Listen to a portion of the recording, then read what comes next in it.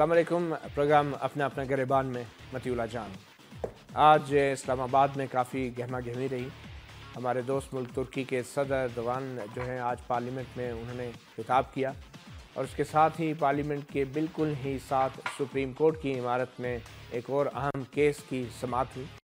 انصاف کی ان درخواستوں کی، جس میں انہوں نے سپریم کورٹ سے پاناما سکینڈل کے حوالے سے ایک عدالتی کمیشن کے ذریعے وزیر اعظم نواز شریف ان کے اہل خانہ پر لگائے گئے الزامات کی تحقیقات کا کی استدار کی ہے اور ان دونوں معاملات میں تحریک انصاف کا ایک اہم کردار رہا ہے۔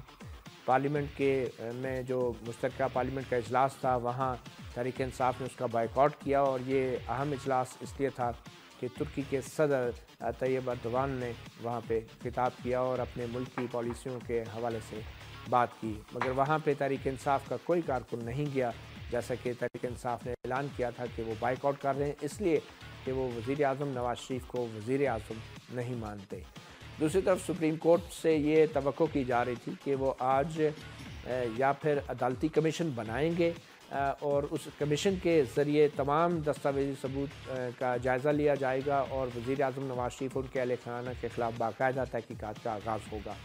اس حوالے سے جب دلائل شروع ہوئے تو سپریم کورٹ کے اندر حامد خان ایڈوکیٹ جو عمران خان و تاریخ انصاف کی نمائندگی کر رہے تھے، انہوں نے وزیر اعظم نواز شریف کی پرانی تقاریر پڑھنا شروع کی۔ تقریباً ایک گھنٹے تک تین تقاریر پڑھی گئی جس کے بعد سپریم کورٹ نے ان سے کہا کہ وہ ان تقاریر کی بجائے اور وزیر اعظم اور ان کے اہل خانہ یا دوسرے لوگوں کے بیانات کی بجائے اصل موضوع کی طرف آئیں کہ لندن کے جو فلیٹس ہیں، ان کی ملکیت کے حوالے سے جو حکمران جماعت نے دستاویزات جمع کرائے ہیں، ان دستاویزات میں کیا خرابی ہے اور اگر حکومت کی طرف سے جمع کرائے گئے دستاویزات میں کوئی خرابی کی نشاندہی نہیں کی، تو پھر تحریک انصاف اپنا کیس ہار بھی سکتی ہے۔ یہ سپریم کورٹ کے مزد جج جسٹس شیخ عظمت نے بھی اس بات کی نشاندہی کی۔ تو آج سپریم کورٹ میں بھی تحریک انصاف کے لیے بھاری دن تھا۔ اور سب سے اہم بات یہ کہ جہاں سپریم کورٹ ایک دن یا دو دن کے لیے اس کیس کی سماعت ملتوی کرتی رہی، آج سپریم کورٹ نے تقریباً دو ہفتے کے لیے اس کیس کی سماعت ملتوی کرتے ہوئے تیس نومبر کی اگلی تاریخ کی، جو کہ یقینی طور پہ انتیس نومبر کے بعد آتا ہے۔ اور انتیس نومبر بھی ہمارے لیے بڑی عام تاریخ ہے، جب chief of army staff general Raheel Sharif retire ہو رہے ہیں۔ ان دونوں موضوعات پہ آج ہم بات کریں گے اور مہمانوں کا تعارف پہلے کراتے چلیں۔ ہمارے ساتھ موجود ہیں شاہدہ رحمانی، رکن قومی اسمبلی ہیں، پاکستان پیپلز پارٹی سے ان کا تعلق ہے۔ ان کے ساتھ تشریف رکھتے ہیں میاں محمد معین وٹو رکن قومی اسمبلی ہے مسلم لیگ نون سے ان کا تعلق ہے۔ اور میں نے کہہ رہا تھا کہ آج یہ وکیلوں کے ڈریس میں آئے ہوئے ہیں، شاید سپریم کورٹ میں جو ان کی حوصلہ افزائی ہوئی۔ اس کے بعد ان کے ساتھ تشریف فرما ہیں جناب عارف عباسی، رکن صوبائی اسمبلی ہیں، پنجاب سے، تحریک انصاف سے۔ ان کا تعلق ہے۔ ہم آپ کو پروگرام کا آغاز کرتے ہیں۔ پہلے کچھ جھلکیاں دکھا دیں۔ سپریم کورٹ کی آج کی کارروائی کے بعد جو حکمران جماعت کے وفاقی وزیر خواجہ سعد رفیق تھے وہ بھی آج کی کارروائی سے بڑے خوش تھے کیونکہ تحریک انصاف کے وکیل سے بہت سے ایسے سوال کیے گئے جن کا وہ اطمینان بخش جواب سپریم کورٹ کو نہیں دے سکے۔ تو دیکھتے ہیں خواجہ سعد رفیق نے اس کاروائی کے حوالے سے سپریم کورٹ کے باہر میڈیا سے کیا کہا۔ آج کی کاروائی میں جو ہم نے محسوس کیا اور جو دیکھا اور سنا ہے تو یہ خدا کی قدرت کہہ لیں اسے آپ، یا اللہ تعالیٰ کی مہربانی کہہ لیں کہ آج عمران خان کے وکیل حامد خان صاحب نے مسلم لیگ نون کے اور وزیر اعظم پاکستان کے موقف کو بڑے اچھے انداز میں عدالت عظمہ کے سامنے پیش کیا اور مسلسل ڈیڑھ گھنٹہ وہ وزیر اعظم پاکستان کے موقف کی تشریح کرتے رہے۔ بار بار تنبیہ کی گئی ہے عمران خان کے وکیل کو کہ آپ ریلیونٹ بات کریں، آپ سیاست نہ کریں۔ آپ کس کا مقدمہ لڑ رہے ہیں؟ آپ یہ جو یہ بھی کہا گیا معزز عدالت کی جانب سے کہ آپ ان کاغذات کو سٹڈی کریں ڈاکومنٹس کو جو وزیر اعظم صاحب کی جانب سے پیش کیے گئے ہیں اور ان پر اعتراضات اٹھائیں اگر آپ نے اٹھانا ہاں خواجہ جی، سعد رفیق اب دیکھتے ہیں عمران خان نے جو ہیں سپریم کورٹ کی آج کی کاروائی کے حوالے سے کیا بیانات دیے اور کیا تاثرات دیے؟ آج جو سپریم کورٹ میں ہوا، آپ حیران ہوں گے، ہم بہت مطمئن ہیں۔ انٹرسٹنگ چیز یہ ہے کہ ججز خود چاہ رہے ہیں کہ یہ جلدی جلدی اس کا فیصلہ ہے میں صرف ایک چیز یہ کہنا چاہتا ہوں کہ ہم بار بار گورنمنٹ کے وزیروں کو وہاں دیکھتے ہیں۔ یہ شریف فیملی کا کیس ہے۔ یہ وزیروں کا وہاں ہونا اس کا کیا مطلب ہے کہ کیا یہ ایک جمہوریت ہے یا بادشاہت ہے؟ ہم دیکھ رہے ہیں وزیر ایک وزیر جس کے ابھی اتنے بڑے ٹرین کے حادثہ ہوئے ہیں، وہ جا کے ڈیفینڈ کر رہے ہیں ایک فیملی کو۔ آپ کا کیا اس میں کام ہے؟ آپ ایک ملک کے وزیر ہیں یا آپ ایک خاندان کے درباری ہیں؟ عمران خان کے بیانات اور تاثرات بھی آپ نے دیکھے، خاص کر جب انہوں نے کہا کہ آپ حیران ہوں گے، مگر ہم آج کی کارروائی سے بہت مطمئن ہیں۔ تو میں گفتگو کا آغاز میرے خیال میں تو ایک بظاہر third party Pakistan people party سے ہی کر لیتے ہیں۔ تو شاہدہ آپ اس آج کی سماعت کے بعد کیا دیکھ رہی ہیں؟ تقریباً دو ہفتے کے لیے اب یہ معاملہ ملتوی کر دیا گیا۔ وہ معاملہ جس پہ پہلے سپریم کورٹ کے ججز کہتے تھے ہم روزانہ کی بنیاد پہ سنیں گے ہم فوری جو ہے اس کا فیصلہ دیں گے۔ تو یہ کیوں یہ معاملہ اتنا طول پکڑ گیا آپ کے خیال میں؟ بہت شکریہ۔ مطلع جان، دیکھیں یہ کورٹ کا میٹر ہے اور میں سمجھتی ہوں کورٹ نے کچھ سوچ سمجھ کر ہی ڈیٹ وہ روزانہ کی بیس پہ کر رہے تھے۔ آج اگر انہوں نے پندرہ دن کا ٹائم دیا تو وہ وکیل کو تیاری کرنے کے لیے دیا ہوگا۔ بہرحال یہ کورٹ میٹر ہے اور اس کے اوپر میں سمجھتی ہوں کہ ہمیں مزید یہاں بیٹھ کے بحث نہیں کرنی چاہیے۔ آپ سمجھتی ہیں کہ عمران خان نے سپریم کورٹ میں جا کے درست فیصلہ کیا اس حوالے سے؟ دیکھیں یہ ان کا اپنا موقف ہے۔ پاکستان پیپلز پارٹی نے تو شروع میں بھی اعتراض کیا تھا کہ ہمیں کورٹ کا نہیں ہمیں پارلیمنٹ جو پارلیمنٹ میں ہم کام کریں عمران خان صاحب بھی پارلیمنٹ میں اور پارلیمنٹ ہی ہمیں اس میں کوئی ایسا راستہ دے گی۔ جو ہمارا ہمیں بھرپور احتجاج کا بھی حق ہے۔ لیکن کورٹ میں جانا آپ کو پتہ کورٹ کس کی ہیں کیا ہو رہا ہے کس طریقے سے ہو رہے ہیں فیصلے تو ضروری کورٹ کس کی ہے؟ کیا مطلب؟ کورٹ کس کی دیکھیں یہی کورٹ تھی پچھلی جب ہماری پانچ سالہ حکومت تھی روزانہ suo motu action T V programme دیکھ کر بھی ہوتے تھے اخبارات کے تراشے بھی دیکھ کر ہوتے تھے۔ آج کہا گیا کہ جی یہ اخبارات کے اندر تو پکوڑے بیچے جاتے ہیں اور یہ۔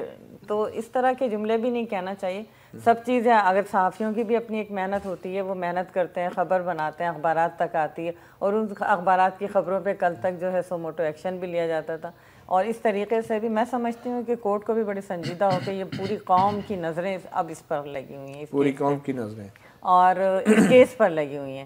خواہ وہ عدالت میں ہو خواہ وہ پارلیمنٹ میں ہو خواہ وہ اس کے احتجاج کے لیے ہم روڈ یا احتجاج کا کوئی بھی راستہ اپنا ہے کورٹ سے توقعات تو ہیں نا آپ کی دیکھیں پوری قوم کو توقعات ہے۔ اگر عمران خان صاحب گئے؟ اگر عمران خان صاحب آپ کورٹ میں کیوں نہیں گئے پھر؟ دیکھیں ہم نے تو شروع میں بھی اعتراض کیا تھا اور ہمارے آج بھی ہمارے چیئرمین جناب بلاول بھٹو صاحب نے کہا کہ پاناما کے لیے ہم آخری حد تک جائیں گے ہم اس کے لیے احتجاج بھی کریں گے جب تک نواز شریف صاحب اس کو کلیئر نہیں کریں گے۔ کورٹ میں کیوں نہیں گئے؟ کورٹ میں عمران خان صاحب نے سمجھا چلے گا۔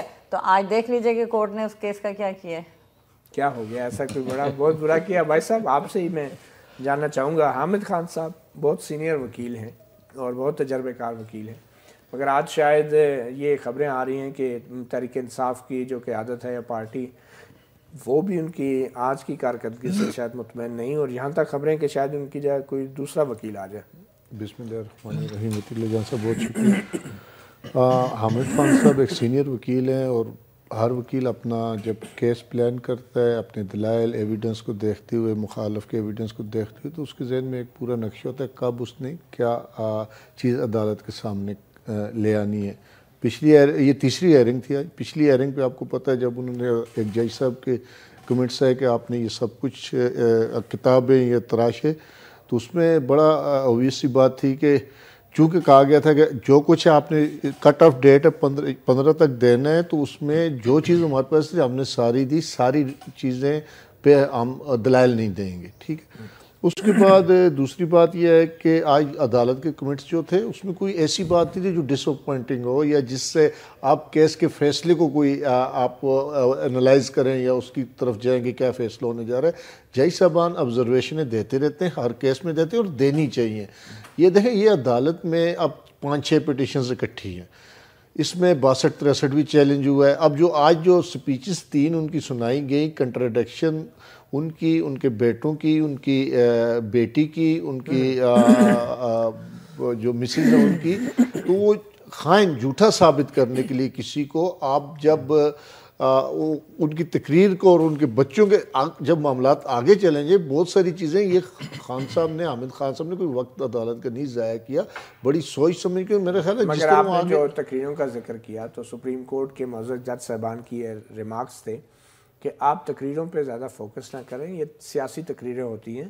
آپ فوکس کریں کہ لندن کے جو فلیٹس ہیں، ان کی ملکیت کے حوالے سے آپ ثبوت دیں یا پھر ان ثبوت کو رد کریں جو حکومت نے پیش کیے تو سپریم کورٹ نے تو بظاہر ایک چیز کلیئر کر دیا ہے کہ تقریروں میں کی جانے والی باتیں اور ان میں تضادات کے حوالے سے سپریم کورٹ کا کوئی تعلق نہیں ہے۔ اب وہ صرف اور صرف لندن کے ان چار فلیٹس کی ملکیت کے حوالے سے وہ تحقیقات جو ہیں وہ جاننا چاہ رہے ہیں۔ جان صاحب، اس میں دیکھیں نا، اب باسٹھ، تریسٹھ اور فلیٹ جو انگلینڈ کے ہیں اس میں دو یہ مختلف مطلب کہ اس پرسپیکٹس میں باسٹھ تریسٹھ کے لیے فورم نہیں ہے نا وہ الیکشن کمیشن الیکشن کمیشن کے اصل مسئلہ لندن کے فلیٹ کا ہے جس کے لیے آپ کمیشن بنوانا چاہ رہے ہیں۔ اس میں ہماری جب اس نے نہیں بھیجی ہماری اسپیکر صاحب نے ہماری پیٹیشن الیکشن کمیشن نے نہیں بھیجی تو وہ بھی ہم نے یہاں سپریم کورٹ کا کہ استدعا کی ہے کہ باسٹھ تریسٹھ میں یہ پورے نہیں اترتے۔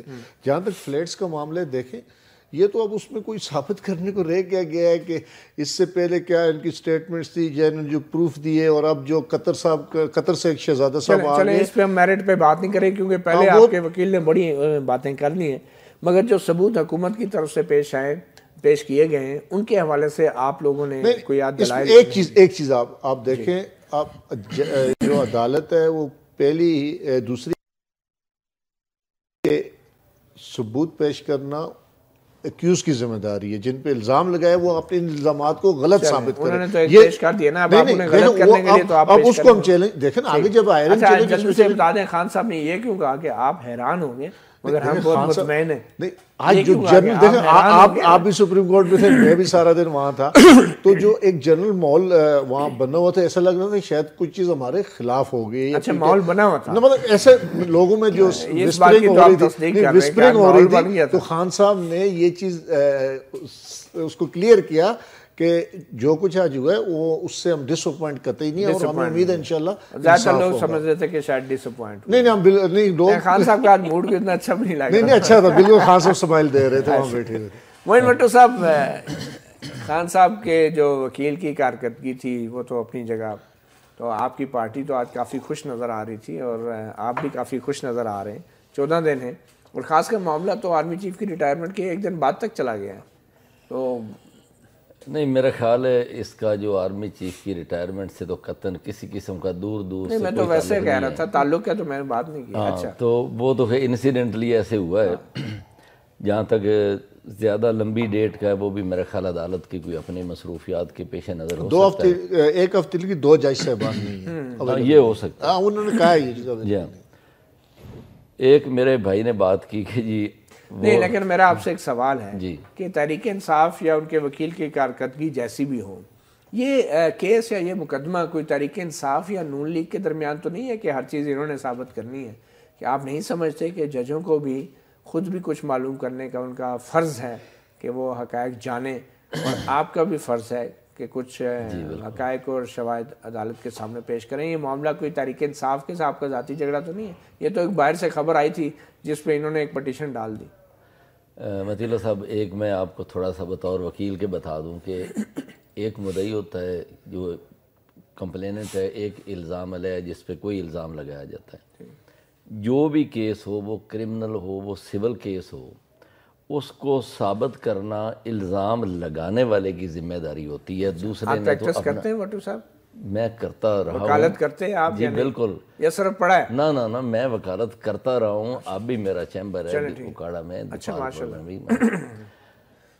ایک تو یہ ہے کہ وہ ثابت انہوں نے کرنا ہے کہ جی یہ ہمارا جو موقف سپریم کورٹ جو جس جورسٹکشن کے تحت یہ سماعت کر رہی ہے اس میں یہ جورسٹکشن مدعی اور مدعی والی نہیں ہے۔ یہ آئینی جورسٹکشن جی آئینی ہے۔ اور بنیادی انسانی حقوق کے نفاذ کی جورسٹکشن جی بالکل یہی ہے۔ اور آپ اس بات کو سمجھتے ہیں کہ انکوزیٹوریل جورسٹکشن بھی ہے ایڈورسوریل اس میں نہیں ہے۔ بالکل مطلب سپریم کورٹ کے جی، اختیارات بالکل آپ نے بجا فرمایا لیکن بیسیکلی اس کیس کو جو بھی جو سچویشن زیر سماعت ہے۔ اب اس کو پروو کرنا اس کو کیس کی شکل دینا یہ تو کام ہے پی ٹی آئی کا یا جو کمپلینٹ ہیں اس کا۔ اب جن پہ الزام لگایا گیا، انہوں نے تو اپنے ڈیفنس میں بتانا ہے کہ جی یہ جو انہوں نے الزام لگایا، یہ غلط ہے، اصل میں یہ صورتحال ہے۔ اب ان کے پاس کوئی ڈاکومنٹری پروف ایسا نہیں ہے جس سے یہ اپنا موقف جو ہے وہاں ثابت کر سکیں۔ مگر جہاں تک میاں نواز شریف فیملی کا تعلق ہے، انہوں نے اپنی اس پراپرٹی کے بارے میں تمام ڈاکومنٹری پروف دینا ہے۔ اور کچھ انہوں نے دیے ہیں اب یہ اس کو کنفرنٹ کریں، اس کی کنٹرڈکشن کریں، اس پہ یہ کوئی ثبوت لائیں۔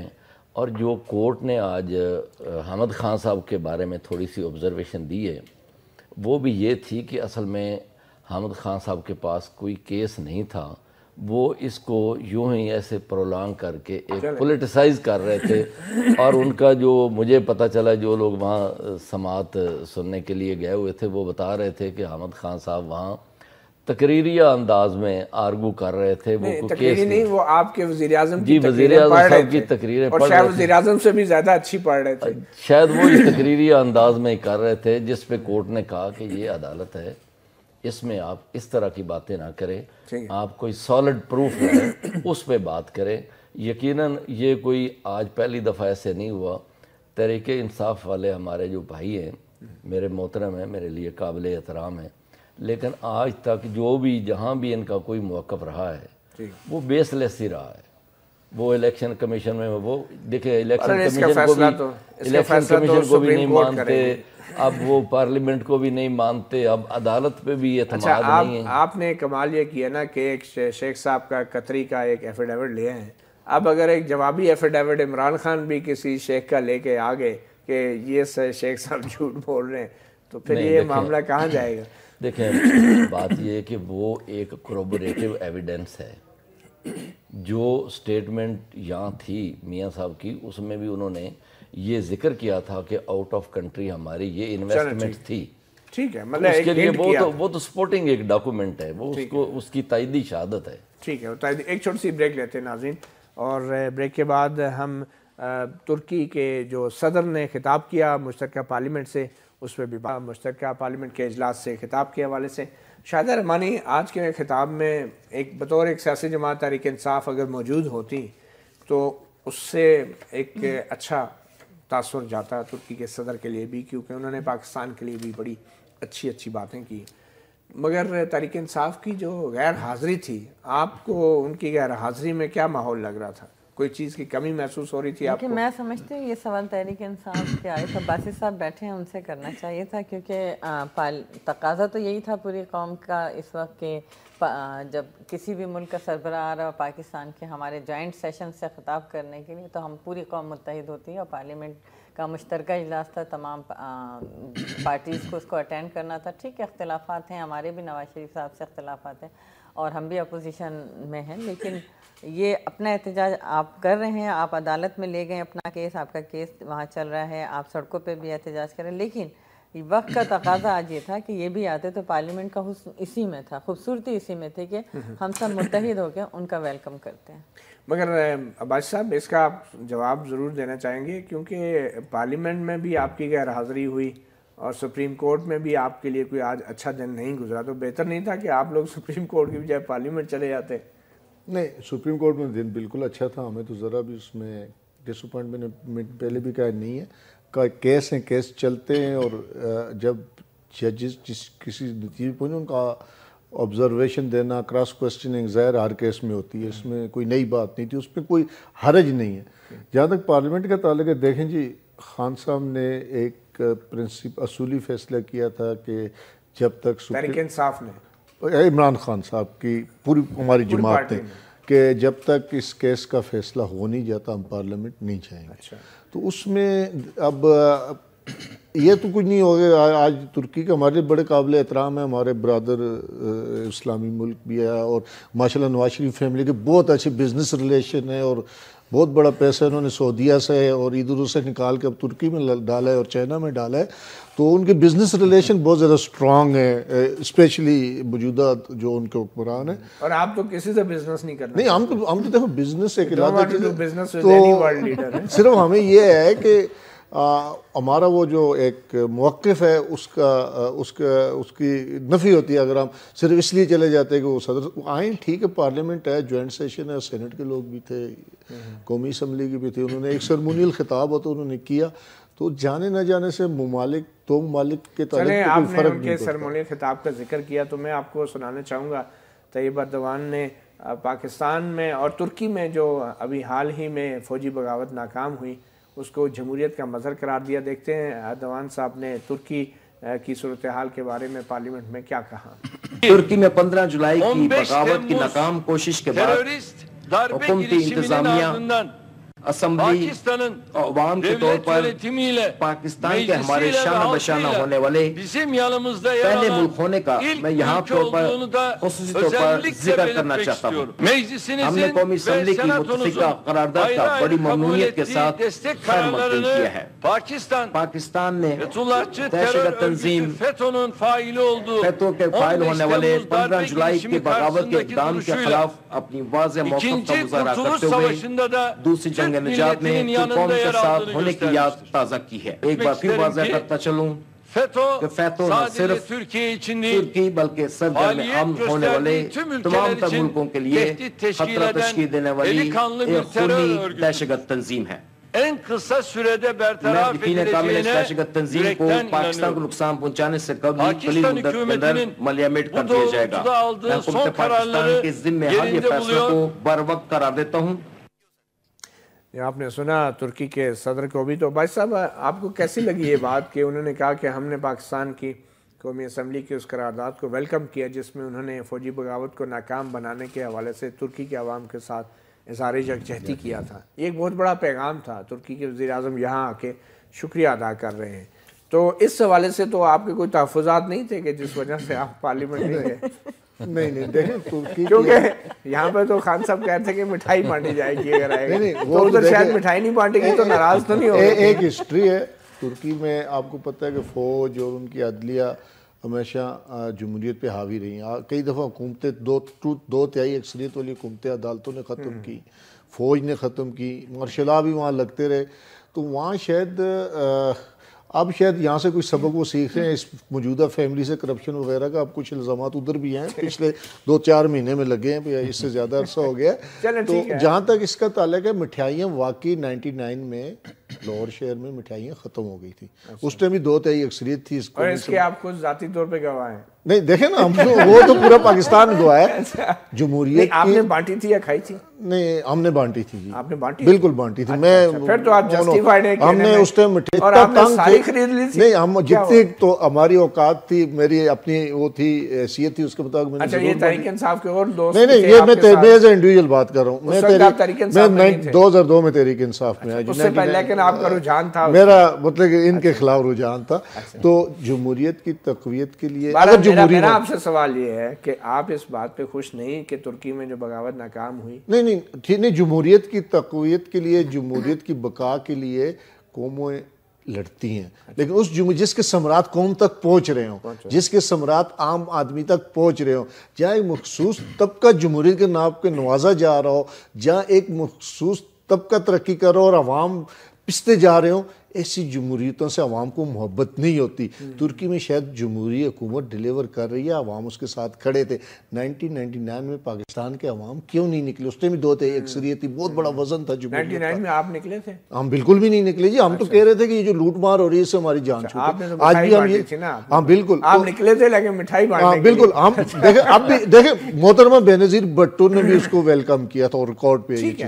لیکن اب اگر ترکی کے عوام کو کچھ مل رہا ہے جمہوریت سے آپ ترکی میں ناکام بغاوت پہ تو خوش ہیں نا؟ خوش ہیں بالکل اگر جہاں جمہوریت ڈیلیور کر رہی ہے وہاں تو اس پہ تو آپ سمجھتے ہیں جہاں جمہوریت فیل ہو چکی ہے وہاں سسٹم ٹھیک کرنے کی ضرورت ہے۔ ترکی میں بغاوت ناکام ہونے پہ آپ نے کوئی مٹھائی بانٹی نہیں؟ نہیں جی ہمارا چونکہ اتنا بہت زیادہ کوئی تعلق نہیں ہے۔ وٹو صاحب ابھی ترکی کے صدر نے ایک اور ذکر کیا فیٹو ایک تنظیم ہے فتح گلن کی اور کہا کہ یہ دہشت گرد تنظیم ہے۔ تو کیا پاکستان جو ہے، وہ بھی اس تنظیم کو اپنی فہرست میں، دہشت گردوں کی فہرست میں شامل کر رہا ہے؟ دیکھیں جی مجموعی طور پہ جو ہماری فارن پالیسی یا ترکی کے ساتھ جو ہمارے تعلقات ہیں، ترکی اور پاکستان ایک پیج پہ ہیں، جو بھی نیشنل اور انٹرنیشنل ایشوز اپنے اپنے ملکوں میں ہیں یا انٹرنیشنل لیول پہ ہیں۔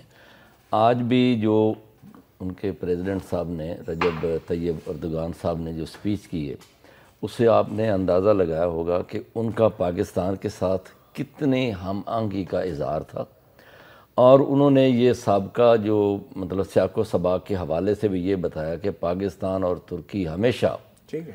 ہر معاملے میں اکٹھے رہے ہیں۔ مجھے یہ بتانا کہ گلن صاحب کے حوالے سے جو انہوں نے آج تقریر کی یہاں پاکستان میں پاک ٹرک سکول جو ہیں تقریباً جی۔ پیچھے پندرہ سال سے زائد عرصے سے یہاں پہ قائم ہیں۔ اور اس میں ہزاروں بچے پڑھ رہے ہیں۔ اب صدر اردوان کے آنے سے چند دن پہلے حکومت نے جو ہے ان سکولوں کے اساتذہ کو جو ہے پاکستان چھوڑنے کا حکم دے دیا ہے جو ترکی کے اساتذہ ہیں۔ یہ کیا ہے؟ مطلب کہ اس میں کیا وہ سب دہشت گرد ہیں؟ نہیں وہ طور پہ اساتذہ کو اپائنٹ کریں گے۔ چونکہ یہ ان کا انٹرنل میٹر مطلب تھا جی بالکل۔ انہوں نے آج یہ پرومس کیا ہے چونکہ آج سب یہ میٹر اٹھایا گیا تھا۔ اور ظاہر بچوں کا فیوچر ہے ہزاروں بچے جو ہیں اس سے وابستہ تھے۔ تو یہ اصل میٹر جو ہے یہ ان کے انٹرنل معاملات تھے۔ بالکل صحیح کہا لیکن میرا خیال صحیح نالج نہیں تھی میرے بھائی کو۔ تو اس میں یہ تھا کہ ان کی حکومت نے جب ڈیمانڈ کرے گی کہ ہمارے یہ فلاں شخص کو فار ایگزامپل ہماری جو بین تنظیمیں اگر کہیں جا کے کوئی کام تو ان کو واپس بلائیں گے نا۔ اسی طریقے سے یہ ان کا میٹر تھا تو انہوں نے اپنے اساتذہ کو جو ہے واپس بلا لیا۔ اور پاکستانی حکومت سفٹنگ کر کے بھیجا جائے۔ نہیں نہیں ان کے ساتھ یہ ہے فلٹر کریں گے بالکل اس کو وہ فلٹر کر کے اور پھر وہ وہاں پہ نئے اساتذہ کو اپائنٹ کریں۔ اپنے طور پہ وہاں سے جو ہے اچھا آپ فتح گلن کو ٹیررسٹ سمجھتے ہیں؟ نہیں مجھے تو نہیں پتا جی اب ان کے بارے آپ کے پاس آپ کی حکمران جماعت کیا فتح گلن کو ٹیررسٹ سمجھتی ہے؟ مجھے تو پتہ ہی نہیں کہ کیوں ٹیررسٹ میں کیوں سمجھوں؟ یہ تو جنہوں نے وہ بلایا ہے واپس وہ بتائے جو فیٹو تنظیم ہے جیسے میں نے آپ سے کہا تھا کیا وہ ٹیررسٹ ہے آپ کے جماعت کی رائے میں؟ آپ کی حکومت؟ نہیں ہماری حکومت اگر وہ ٹرکی والے سمجھتے ہیں تو وہ بہتر سمجھتے ہیں اس لیے کہ وہ ان کا ایشو زیادہ ہے۔ اور وہ اس جو سمجھتے ہیں آپ بھی وہی سمجھتے ہیں۔ جی یقیناً ان کے ملک کے بارے میں جو وہ کہتے ہیں۔ ہم تو ان کی پالیسی کو چونکہ ہم ایک پلیٹ فارم پہ ہم اس کے ٹھیک ہے جی بھائی صاحب آپ کی جماعت بھی کچھ سمجھتی ہے اس معاملے میں؟ یہ ان کا داخلی مسئلہ ہے۔ اگر وہ تنظیم پورے دنیا میں کہیں دہشت گردی کر رہی ہوتی تو پھر تو اقوام متحدہ ایک ادارہ ہے جہاں بہت ساری تنظیموں کو دہشت گرد قرار دیا جا چکا ہے۔ اگر ان کا انٹرنلی معاملہ ہے تو پھر ہمارے ملک میں کافی ساری سیاسی پارٹی پہ پابندی لگی۔ نیب ہے تو ہم اس لیے سمجھتے ہیں کہ ان کے یہ پولیٹیکل مسائل ہیں۔ ایران کے مطلب کہ جو خمینی تھے، وہ فرانس میں بیٹھ کے کام کرتے رہے اپنے ملک کے لیے۔ تو اس طرح کا اگر کوئی ان کے سیاسی اپنے وہ پرچار ہے، اپنے اپنے نظریات کا، تو اس میں ہمیں زیادہ کنسرن نہیں ہونا چاہیے، ان کے داخلی معاملات ہیں۔ اگر وہ انٹرنیشنلی وہ تنظیم ایسی ہے کہ جو دہشت گردی کو پھیلاؤ میں معاونت کر رہی ہے پوری دنیا میں، تو وہ کنسرن ہونا چاہیے۔ ادروائز اگر ترکی کے انٹرنل جو لوکل ان کے ایشوز ہیں نا جی دیکھیں ان کے بارے میں تو وہ خود زیادہ بہتر جانتے ہیں نا۔ ہم تو اس کو ہاں تو وہ جو کہیں گے آپ نے تو اوپر مور لگا دے۔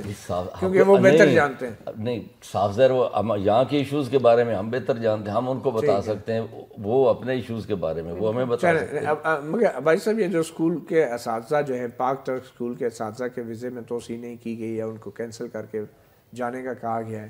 اس کو آپ کیسے دیکھتے ہیں؟ دیکھیں میری معلومات کے مطابق جو پیرنٹس ہیں وہ کل ہائی کورٹ میں جا رہے ہیں۔ ہاں جو پیرنٹس ہیں بچوں کے وہ ہائی کورٹ میں جا رہے ہیں۔ اس فیصلے کے خلاف ایڈمنسٹریٹو فیصلہ ہے۔ اور یہ بنیادی حقوق کے منافی ہے کہ بچے جب پڑھے کانٹریکٹ ایک ہوا ہوا ہے تو ان پیرنٹس کا کیا قصور ہے جن کے بچے اس اسکول میں جا رہے ہیں اور ایک کنٹینیوسلی مطلب اس میں ہزاروں بچے ہیں؟ تو اس کو لیگلی طریقہ تو یہ ہونا چاہیے کہ آپ اس پہ بیٹھ کے طریقے سے اس کو گریجولی سبسٹیچیوٹ کریں جس چیز کے آپ کو شک ہے۔ اب ہنڈریڈ پرسنٹ اور دہشت گرد نہیں ہو سکتے ہنڈریڈ پرسنٹ اس کے پیروکار بھی نہیں ہوں گے۔ سکریننگ کریں کہ بیٹھیں اور جس چیز پہ آپ کو شک ہے اس کو کسی طریقے سے ریپلیس کریں۔ اس طرح یک مشت یہ تو وہی ہے جیسے مودی کوئی بات وہاں سے کہتا ہے ہمارے وزیر صاحب یس کہہ دیتے ہیں اسی طرح کا کوئی حکم آپ نے ویسے کسی ملک یا کسی حکمران یا کسی ڈپلومیٹ کو بخشا نہیں ہے آپ کی پارٹی نہیں نہیں ہاں نہیں ہم تو جو اوبیسلی جو سچی بات ہے وہی کرتے ہیں۔ چاہے وہ چین کے صدر کیا دورہ ہو چین کو تو ملتوی ہو جائے چاہے وہ قطری شہزادہ ہو نہیں ہمارے بچوں کو دیکھیں میں تو اپنے ملک کے بچوں کی بات کر رہا ہوں نہیں ہم اس کے بالکل خلاف نہیں ہیں۔ ہم تو اپنے بچوں کے مستقبل کا سوچ رہے ہیں پاکستانی بچے ہیں۔ تو اگر ان کا مستقبل اس طرح تاریخ کیا جا رہا ہے اور دیکھیں کل سے ان کے ٹیچر چلے جائیں گے وہ کیا کریں گے؟ آگے مارچ میں جیسے شاہدہ نے کہا ترکی کے صدر نے کہا کہ دوسرے ساتھ لیکن اس پہ طریقہ یہ کہ پہلے آپ ان کی گریجولی نا ریپلیس کریں۔ اب ایک دم سارا اساتذہ چلے جائیں نئے آ جائیں تو نہیں معاملہ جائے گریجولی آپ ان کو ریپلیس کریں۔ نیکسٹ ایجوکیشن ایئر سے ریپلیس کر دیں۔ ویسے بھی کوئی طریقہ کار ٹیچر ہیں وہ تو کام کر رہے ہیں۔ ٹھیک۔ اچھا میں بلکہ شاید آپ کے پاس یہ آنا چاہوں گا کہ آج جو خطاب ہوا، اس خطاب میں چیف منسٹر خیبر پختونخوا بھی غیر حاضر تھے۔ تو اگر پارلیمنٹ کے اندر آپ جاتے ہیں تو وہ تو چلیں، بقول عباس صاحب کے ایک اصول کی خلاف ورزی ہو جائے گی، آپ کی تاریخ کی نفی ہو جائے گی۔ مگر جو وزٹرز گیلری میں مہمان لوگ ہوتے ہیں، اس میں تو وزیر اعلیٰ خیبر پختونخوا کو موجود ہونا چاہیے تھا یا نہیں؟ آپ کی کیا رائے ہے اس دیکھیے میں سمجھتی ہوں انہوں نے ظاہر پی ٹی آئی سے بلانگ کرتے تھے انہوں نے اپنے لیڈر کی بات کی تائید کی اور وہ نہیں آئے اور لازمی ان کو نہیں آنا چاہیے تھا کیونکہ وہ پی ٹی آئی سے بلانگ کرتے ہیں۔ لیکن یہاں پر ایک بات میں ترک صدر کی جب بات ہو رہی ہے تو آپ نے دیکھا کہ وہ اسلام آباد آئے وہاں سے لاہور چلے گئے۔ اسلام آباد اور لاہور کو اگر چائنا سے کوئی آتا وہ بھی اسلام آباد اور پھر لاہور کی یاترا کو چلا جاتا ہے۔ لاہور تاریخ ہے۔ آپ کراچی میں بلا سکتے ہیں آپ؟ کیوں نہیں بلا سکتے؟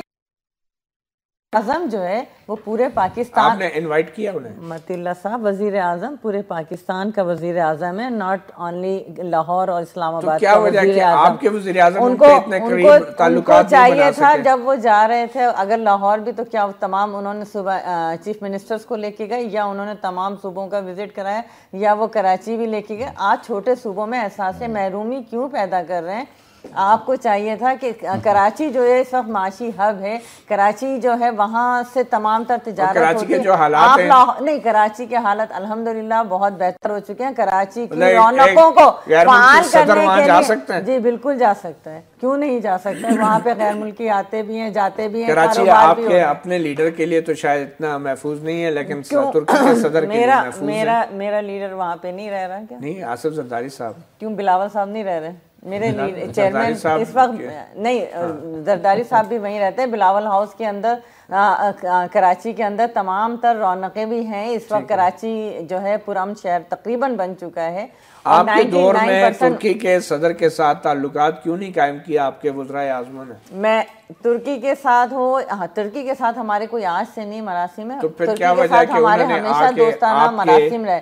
میں اس وقت یہ بات کر رہی ہوں کہ آج بھی لاہور میں ہی ڈنر دیا گیا ضیافت دی گئی وہاں پہ سب کچھ دکھایا جا رہا ہے۔ کیوں کراچی نہیں ہے کوئٹہ نہیں ہے کہ پشاور نہیں ہے یہ تمام کیا پاکستان کے شہر نہیں ہے کیا چھوٹے صوبوں میں احساس محرومی نہیں بڑھ رہا ہے؟ میں میں یہ پوچھنا چاہتی ہوں کیا وزیر اعظم صرف اسلام آباد اور لاہور تک کے لیے ہے۔ یا پورے پاکستان کے وزیر اعظم؟ تو احساس محرومی بڑھا مگر خیبر پختونخوا کے صوبے جو ہیں وہ تو خود محروم رہنا چاہتے ہیں بائک آؤٹ کر رہے ہیں۔ ہر چیز کا اسلام آباد میں جب پرسوں یہ آ رہے تھے کل اور میں میں پاناما لیکس کی درخواستوں کے حوالے سے اور پھر اس کے بعد صدر طیب اردوان ترکی کے جو ہمارے مہمان ہیں، انہوں نے پارلیمنٹ کی مشترکہ اجلاس سے جو خطاب کیا۔ بھائی صاحب جو محرومی کی بات ہو رہی تھی صوبوں کی، تو آج تو جو اشائیہ ہوا، اس میں بھی تمام سیاسی پارلیمانی لیڈرز کو پارٹیوں کے لیڈر کو مدعو کیا گیا تھا، مگر عمران خان صاحب اشائیہ میں بھی نہیں گئے۔ جہاں پہ ان کی جو ہے ترکی کے صدر سے ملاقات بھی ہو سکتی تھی۔ ایک بڑا اچھا امپریشن جاتا۔ نہیں، دیکھیں، اب جب یہ ترکی کے صدر اسلام آباد ایئرپورٹ آئے تو ایک وزیر اعلیٰ وہاں تھا۔ تین صوبوں کے وزیر اعلیٰ کو نہیں بلایا گیا تھا۔ اور اس کے بعد عموماً جو سربراہ مملکت آتا ہے، اصولاً قائد اعظم کے مزار پہ چلو سندھ کو کچھ نہ دے کم قائد اعظم کے مزار پہ میرے خیال میں شباز شریف صاحب کو بلایا نہیں وہ خود آئے نہیں خود تو نہیں آتا دیکھیں اتنا افیشل وزٹ اور اتنا ہائی کلاس تو وہ خود نہیں آتے۔ فیملی کی حکومت۔ تو فیملی فیملی کی شہنشاہ نہیں نہیں یہ وہ شہنشاہ جو ہے نا رائل فیملی کے لوگ not only C M but all royal family جو بھی اراکین ان کے پاکستان میں موجود ہیں وہ سارے اسلام آباد چکلالہ وی آئی پی لانچ میں موجود تھے۔ رائل فیملی تھی اور رائل فیملی کے کل نیئرسٹ اینڈ ڈیئرسٹ لیکن آپ کو خوش نہیں ہوتی ہے کہ ہمارے حکمران اتنے قریب ہیں حکمرانوں کی آپس کی دیکھیں جی بالکل بالکل۔ یہ تو ایک اچھی بات نہیں ہے۔ ہاں ٹھیک ہے میں آپ کو ایک چھوٹی سی مثال دوں۔ پنڈی میں پنڈی میں پنڈی میں ہمارا پنڈی میں ہمارا ہمارا ٹی ایم میں ٹی ایم میں صفائی کرتا تھا۔ ساڑھے سات ارب روپے اس کا بجٹ تھا اور ہم خوش تھے۔ وہی بجٹ ستر ارب روپے سال کا۔ تو یہ حکمرانوں کی قربت ہے جو ہمارا خون نچوڑ رہی ہے۔ ہم ایسی قربت سے باس آئے جس سے پاکستان ہو نہیں اگر یہ بات ہو تو نہیں یہ حقائق ہیں۔ دیکھیں میری بات سنیں۔ لیکن عدالت میں تو کچھ ثابت کرنا چاہیے عدالت میں انشاءاللہ ثابت ہوگا اور وہ ہمیں تو اتنی پور امید ہے جتنے ہم سمجھتے صبح مشرق سے سورج نکلے گا۔ اللہ کے ہاں اتنے پر امید ہیں کہ پہلی دفعہ ایک نہیں نہیں نقصان تو جو آپ لوگ پہنچا رہے ہیں اس کا مداوع ہو نہیں سکتا پتہ کتنے برسہ برس کام کرنا پڑے نقصان کا مداوع نہیں ہو سکتا احاطہ تو ہو سکتا نہیں اب ہم کر رہے ہیں نا ان کو پکڑ کے انشاءاللہ ثبوت سارے دیے ہوئے ہیں۔ ان کو پکڑ کے انصاف کے کٹیرے میں ہم لے آئے ہیں۔ اچھا۔ اور انشاءاللہ تعالیٰ ان کی تلاشی ہوگی اور ان سے مال مسروقہ نکلے گا۔ اچھا۔ جو پکڑا گیا لندن میں اس کے علاوہ بہت سارا بہت سارا چوری کیا ہوا مال ان کے سے باہر آئے گا۔ اور یہ دنوں کی بات ہے ہفتوں کی بات ہے مہینوں یا سالوں کی نہیں ہے۔ پہلی دفعہ ہسٹری میں ایک شخص اٹھا اللہ پاک اس کی زندگی صحت دے۔ ہاں۔ اس قوم کے اس محروم طبقے جو کبھی نہیں اپنا حق لے سکے۔ تو آپ دیکھیں گے یہی سپریم کورٹ انشاءاللہ تعالیٰ اسی تلاشی میں چلیں چلیں وہ آپ سارا واپس سپریم کورٹ کی طرف آئی گئے تو وٹو صاحب ایک سوال یہ پیدا ہوتا ہے کہ اب تو آپ کے اوپر سے بظاہر پریشر کم ہوتا جا رہا ہے۔ وہ ڈاؤن لیک کی کمیٹی بھی جو ہے وہ ایک لمبے عرصے کے لیے ڈل چکی اور سپریم کورٹ کا معاملہ بھی جو ہے ایک دو ہفتے آگے چلا گیا ہے۔ تو آپ سمجھتے ہیں کہ اب آپ لوگ پہلے سے زیادہ مضبوط ہو گئے ہیں حکومت میں اور جمہوریت جو ہے مستحکم ہو گئی ہے۔ ایک بات میں کہوں جی کہ کبھی بھی نون لیگ نے یہ اس بات کو پریشر نہیں سمجھا آج تک۔ ہاں البتہ یہ احساس ضرور ہوتا رہا ہے کہ اس بات کو جس طرح ہائی لائٹ کیا جا رہا ہے اور جس طرح ملک کو جام کرنے کی باتیں کی جا رہی اس سے ملک کا جو نقصان کیا جا رہا ہے اس کا ضرور پریشر تھا اس کا ضرور فکر تھا اور پریشانی تھی کہ آج ملک کی اگر معیشت کا پہیہ تیزی سے رواں دواں ہے اور کچھ لوگ اس کو روکنا چاہتے ہیں جام کرنا چاہتے ہیں یہ بات پریشانی کی تھی۔ آج یقین کریں کہ کسی وقت بھی اب عدالت میں میٹر ہے ہمارے ذہن میں کوئی پریشانی نہیں ہے کہ ٹھیک ہے جی سپریم کورٹ آف پاکستان کے پاس ایشو ہے۔ اور ہمیں سو فیصدی یقین ہے چونکہ ہمارا موقف درست ہے۔ ٹھیک ہے۔ تو کوئی پریشانی آپ پہ اس وقت کوئی پریشانی نہیں ہے مگر ایک بہت اہم فیصلہ وزیر اعظم نے کرنا ہے۔ ہمارے نئے آرمی چیف کا انتیس نومبر کو جنرل راہیل ریٹائر ہو رہے ہیں۔ ابھی کچھ خبریں یہ بھی آ رہی ہیں کہ حکومت نے یہ فیصلہ کیا ہے کہ توسیع نہیں دی جائے گی ایسا فیصلہ ہو گیا ہے۔ نہیں حکومت نے یہ کبھی بھی نہیں یہ کوئی سٹیٹمنٹ نہیں آئی یہ آپ کہہ رہے ہیں کہ حکومت نے یہ کہا کہ اس کا فیصلہ تو حکومت ہی کرتی ہے لیکن یہ جس طرح آپ نے فرمایا ہے اچھا تو کیا دی جا رہی ہے؟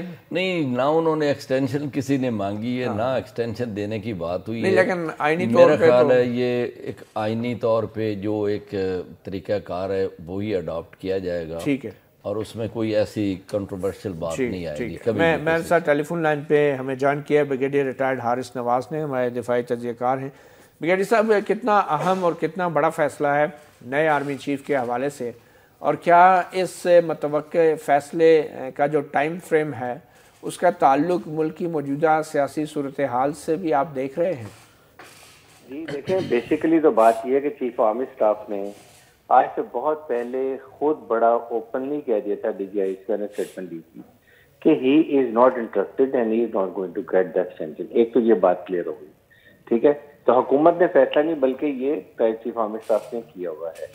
اور سیکنڈ یہ ہے کہ اس وقت کے جو موجودہ حالات ہیں انٹرنیشنلی اور اس کے بعد جو ہمارے دونوں ایسٹرن ویسٹرن فرنٹس پر حالات ہیں، ان کو دیکھیں تو اس وقت بہت ٹربلنٹ سچویشن ہے and we need a very strong chief army staff لیکن army chief of army staff جو بھی ہوگا جس پیچ پہ چیف آرمی اسٹاف اس کو لے کر گئے ہیں پریزنٹ وہ نئے چیف آرمی اسٹاف آئیں گے وہ پہلے ہی سے اس میں انوالو ہیں کور کمانڈر کونسل بیٹھتے ہوں گے سب طریقے سے جس ایسی بات نہیں ہوتی ہے he will follow it up in continue no بڑا لیکن اس میں یہ ہے کہ تھوڑا سا کیونکہ آپ نے ڈیسیجن میکنگ ہوتی ہے you are sitting on the chair chair and you are understanding everything آپ انڈیا کو بھی دیکھ رہے ہیں۔ انڈیا میں اس وقت پورے جن رحیل شریف کی ان کو صفحے ماتم مچی ہے کو پرابلم ہوئی ہوئی ہے۔ ہر چینل جن رحیل شریف کی بات کر رہا ہے۔ جس طریقے سے انہوں نے کو دھمکیاں دی ہیں جس طریقے سے انہوں نے ان کا نقصان پہنچایا ہے۔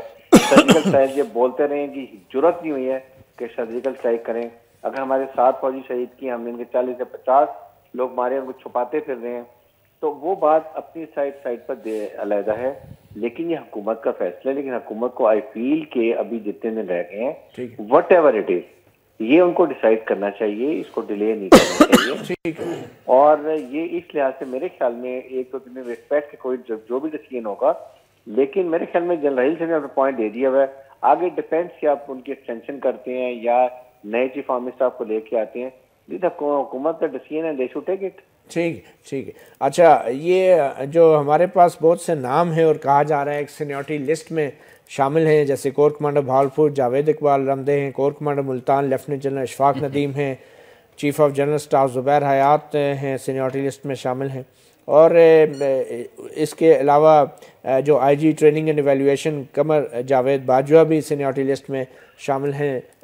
تو پرائم منسٹر جو ہے ان کے پاس یہ اختیار ہے کہ اس سینیورٹی لسٹ کے علاوہ بھی کسی کو آرمی چیف تعینات کر سکے۔ دیکھیں وہ تو ہے لیکن جنرلی یہ ہوتا ہے کہ تین سے چار کی لسٹ چلی جاتی ہے اور پھر پرائم منسٹر کی مرضی ہوتی ہے اپنی جیسے بہتر۔ لیکن جنرلی یہ ہوتا ہے جو پہلے پرابلم ہوئی یہ اس لیول کے اوپر کہ جب آپ اگر ایک سینورٹی چل رہی ہے اس کو آپ چلاتے ہیں وہ زیادہ بہتر ہوتا ہے۔ ادروائز دو تین چار گھر چلے جاتے ہیں بکنگ شروع ہو جاتی ہے اور پھر اس میں اس وقت تین چار جو ٹاپ پہ ہیں I think they are all equally competent they have held very important assignment in Pakistan آدمی کے اندر. اور ہمیں جنرلی اس لیول پہ، کیونکہ پروفیشنل کا فرق نہیں ہوتا، تو اس کو آپ سینورٹی کو فالو کرتے ہیں. لیکن پھر وہی بات ہے کہ پولیٹیکل اپوائنٹمنٹ بھی ہو جاتی ہیں ٹائم پرائم منسٹر کی اپنی پرسنل ریکوائرمنٹ ہے، کوئی اور چیزیں آ جاتی ہیں، انوالو ہوتی ہیں.